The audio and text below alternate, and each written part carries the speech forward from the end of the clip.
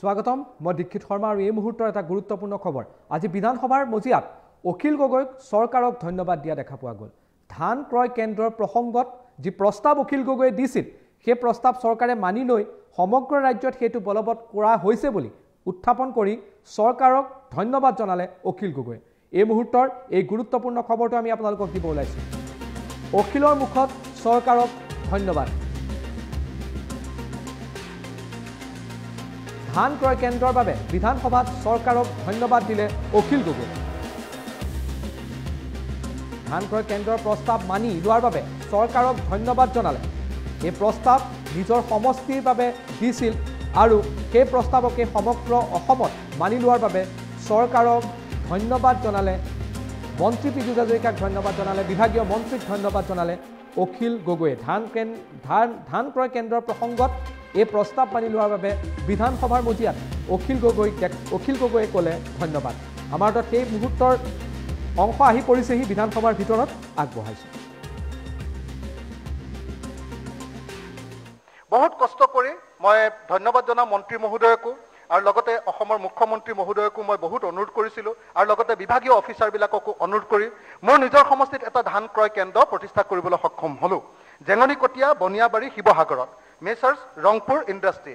আৰু ধান ক্ৰয় কেন্দ্ৰই নহয় অসমৰ ভিতৰতে এটা ভাল ধান মিলিং মেচিন এটা একদম অত্যাধুনিক সেইটো ব্যৱস্থা কৰিবলৈ সক্ষম হ'লোঁ। এইটো মোৰ কাৰণে বিধায়ক জীৱনৰ এটা অত্যন্ত গুৰুত্বপূৰ্ণ মাইলৰ খুঁটি। এতিয়া মই কিন্তু সমস্যা কেইটামানৰ বিষয়ে ক'ব খুজিছোঁ। সেই সমস্যাকেইটা আজি মানি লয় নে নলয় নাজানো।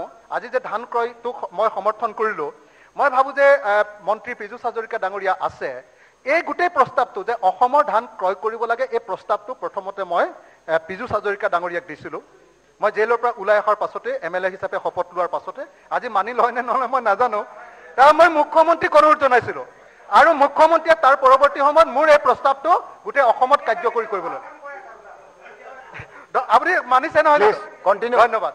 গতিকে হয় এইটো যে ৰাজ্যৰ কাৰ্যসূচী কৰিলে তাৰ কাৰণে মই তেখেতসকলক ধন্যবাদ জনাইছো। মোৰ পিনৰ পৰা এই প্ৰস্তাৱ পঠিয়াইছিলোঁ। ধন্যবাদ ধন্যবাদ। মন্ত্ৰী মহোদয়লৈ ধন্যবাদ. হয়।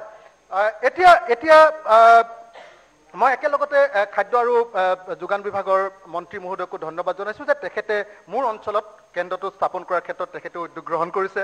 আৰু বিশেষকৈ এজন অফিচাৰ শইকীয়া ডাঙৰীয়া তেখেতকো মই ধন্যবাদ জ্ঞাপন কৰিছোঁ। বহুত কষ্ট কৰি মই ধন্যবাদ জনাওঁ মন্ত্ৰী মহোদয়কো। আৰু লগতে অসমৰ মুখ্যমন্ত্ৰী মহোদয়কো মই বহুত অনুৰোধ কৰিছিলোঁ আৰু লগতে বিভাগীয় অফিচাৰবিলাককো অনুৰোধ কৰি মোৰ নিজৰ সমষ্টিত এটা ধান ক্ৰয় কেন্দ্ৰ প্ৰতিষ্ঠা কৰিবলৈ সক্ষম হ'লোঁ। জেঙনিকটীয়া বনিয়াবাৰী শিৱসাগৰত মেচাৰ্ছ ৰংপুৰ ইণ্ডাষ্ট্ৰী। আৰু ধান ক্ৰয় কেন্দ্ৰই নহয় অসমৰ ভিতৰতে এটা ভাল ধান মিলিং মেচিন এটা একদম অত্যাধুনিক সেইটো ব্যৱস্থা কৰিবলৈ সক্ষম হ'লোঁ। এইটো মোৰ কাৰণে বিধায়ক জীৱনৰ এটা অত্যন্ত গুৰুত্বপূৰ্ণ মাইলৰ খুঁটি। এতিয়া মই কিন্তু সমস্যা কেইটামানৰ বিষয়ে ক'ব খুজিছোঁ। সেই সমস্যাকেইটা আজি মানি লয় নে নলয় নাজানো। আজি যে ধান ক্ৰয়টোক মই সমৰ্থন কৰিলোঁ মই ভাবোঁ যে মন্ত্ৰী পীযুষ হাজৰিকা ডাঙৰীয়া আছে। এই গোটেই প্ৰস্তাৱটো যে অসমৰ ধান ক্ৰয় কৰিব লাগে এই প্ৰস্তাৱটো প্ৰথমতে মই পীযুষ হাজৰিকা ডাঙৰীয়াক দিছিলোঁ। মই জেইলৰ পৰা ওলাই অহাৰ পাছতে এম এল এ হিচাপে শপত লোৱাৰ পাছতে আজি মানি লয় নে নলয় মই নাজানো। তাৰ মই মুখ্যমন্ত্ৰীক অনুৰোধ জনাইছিলোঁ।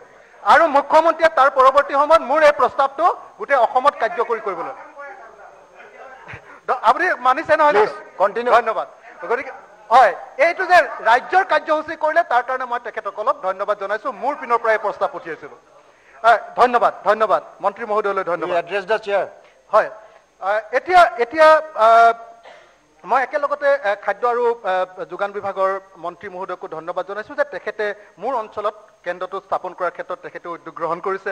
আৰু বিশেষকৈ এজন অফিচাৰ শইকীয়া ডাঙৰীয়া তেখেতকো মই ধন্যবাদ জ্ঞাপন কৰিছোঁ। conclude.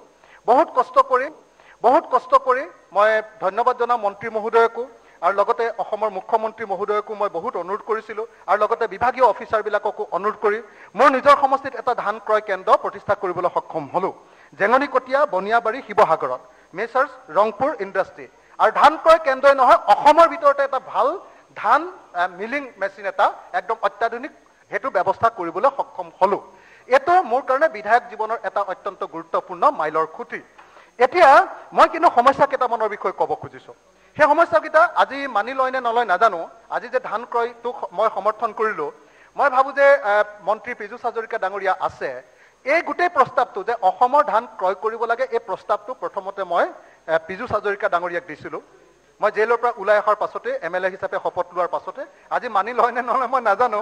তাৰ মই মুখ্যমন্ত্ৰীক অনুৰোধ জনাইছিলোঁ। আৰু মুখ্যমন্ত্ৰীয়ে তাৰ পৰৱৰ্তী সময়ত মোৰ এই প্ৰস্তাৱটো গোটেই অসমত কাৰ্যকৰী কৰিবলৈ আপুনি মানিছে নহয়. ধন্যবাদ। গতিকে হয় এইটো যে ৰাজ্যৰ কাৰ্যসূচী কৰিলে তাৰ কাৰণে মই তেখেতসকলক ধন্যবাদ জনাইছোঁ। মোৰ পিনৰ পৰা এই প্ৰস্তাৱ পঠিয়াইছিলোঁ। ধন্যবাদ ধন্যবাদ। মন্ত্ৰী মহোদয়লৈ ধন্যবাদ. হয় এতিয়া এতিয়া মই একেলগতে খাদ্য আৰু যোগান বিভাগৰ মন্ত্ৰী মহোদয়কো ধন্যবাদ জনাইছোঁ যে তেখেতে মোৰ অঞ্চলত কেন্দ্ৰটো স্থাপন কৰাৰ ক্ষেত্ৰত তেখেতে উদ্যোগ গ্ৰহণ কৰিছে। আৰু বিশেষকৈ